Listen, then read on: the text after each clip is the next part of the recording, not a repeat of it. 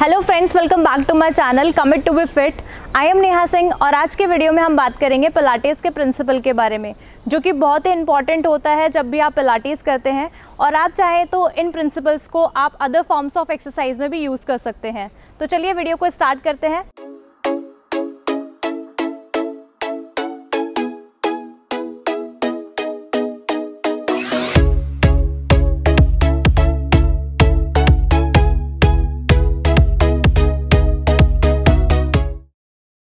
Video को start करने से पहले चैनल को सब्सक्राइब कर दीजिए बेल आइकन को प्रेस कर दीजिए ताकि आने वाले वीडियो से रिलेटेड सारी नोटिफिकेशन आपको मिल जाए। पिलाटीज में हम पाँच तरह के प्रिंसिपल पे वर्कआउट करते हैं। फ़र्स्ट होता है breathing principle breathing principle means आप किस तरह से सांस लेते हैं जब आप वर्कआउट करते हैं। और ये बहुत ही ज़रूरी होता है कि आप अपनी ब्रीथ पे अच्छे से फोकस करें जब आप वर्कआउट करें।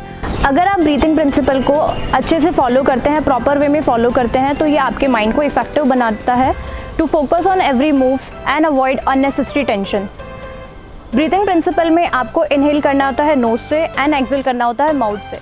जब आप इनहेल करते हैं और एक्सिल करते हैं तो आपको ध्यान रखना होता है कि आपका कोर जो है वो इंगेज रहे। यहाँ पर कोर इंगेजमेंट का मतलब ये है कि आपका जो स्टमक है, जो आपका स्टमक होता है थोड़ा सा पुलिन होना चाहिए और जो आपका पेल्विस होता है, वो भी पुलिन होना चाहिए। तो दोनों को आपको साथ में पुलिन करना होता है और साथ में ही इनहेल करना होता है नोज़ से और एक्सिल करना होता है माउथ से।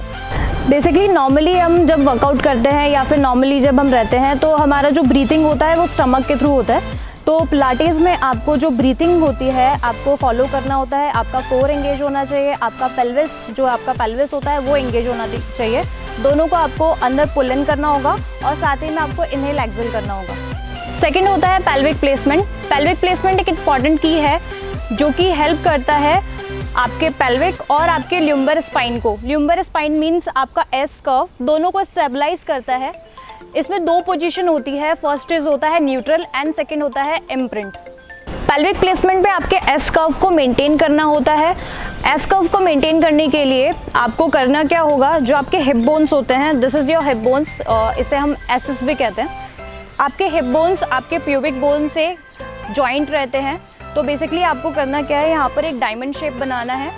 सो so, आपका जो प्यूबिक बोन है और आपका जो हिप बोन है ये तो ना तो आगे की तरफ़ होना चाहिए ना ही पीछे की तरफ़ होना चाहिए। It should be neutral basically अगर आप इसे अच्छे से समझना चाहते हैं तो ये जो मैंने डायमंड शेप बनाया है, इसको आपको ना तो अपवर्ड लेके जाना है, ना ही फॉरवर्ड लेके जाना है। और ये बिल्कुल सीधा होना चाहिए।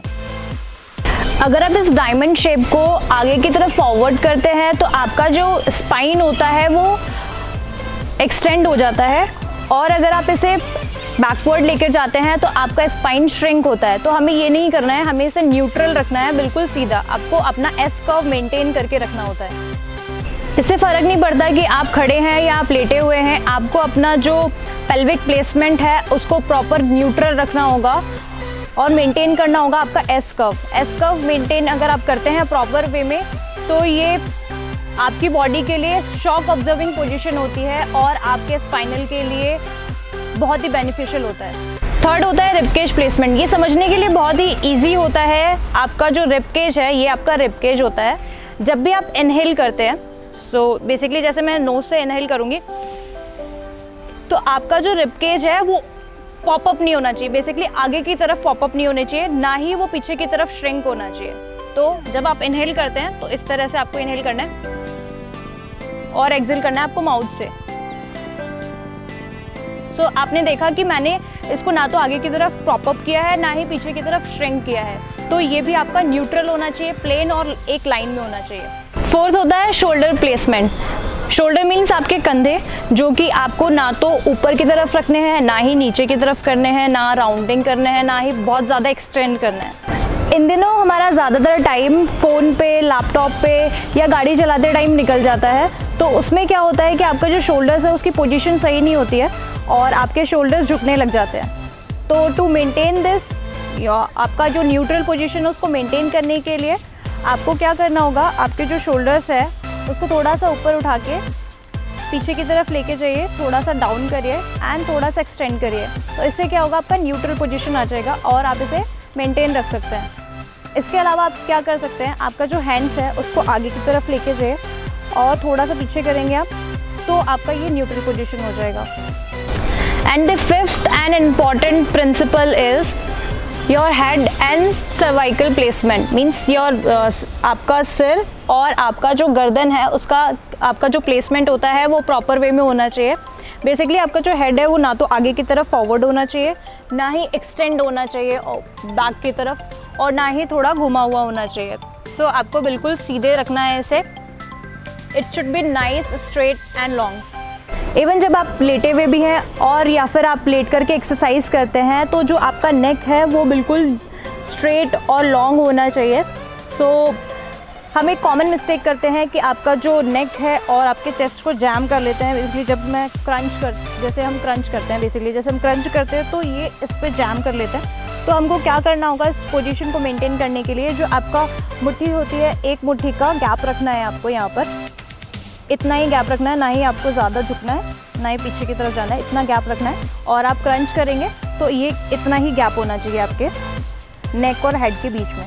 So basically I am crunching so it should not be forwarded अगर मेरा वॉइस चेंज हो रहा है अगर मैं आगे की तरफ़ जा रही हूँ तो ये चीज़ नहीं करनी है आपको। आपको इतना ही गैप मेंटेन करना होता है। सो so, ये थे हमारे पिलाटीज़ के पाँच प्रिंसिपल जिन्हें हमें ज़रूर से फॉलो करना होता है जब भी हम पिलाटीज़ करते हैं।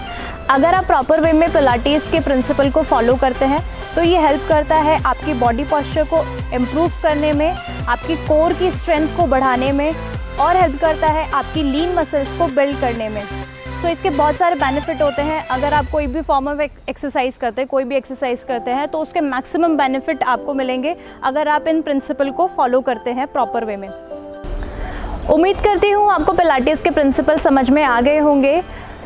अगर आपको ये वीडियो अच्छा लगा तो चैनल को सब्सक्राइब कर लीजिए, बेल आइकन को प्रेस कर दीजिए और वीडियो को लाइक कर दीजिए अगर आपको कोई भी क्वेरी है और कोई भी कन्फ्यूज़न है तो आप मुझे कमेंट सेक्शन में पूछ सकते हैं till then stay fit stay healthy and commit yourself to be fit.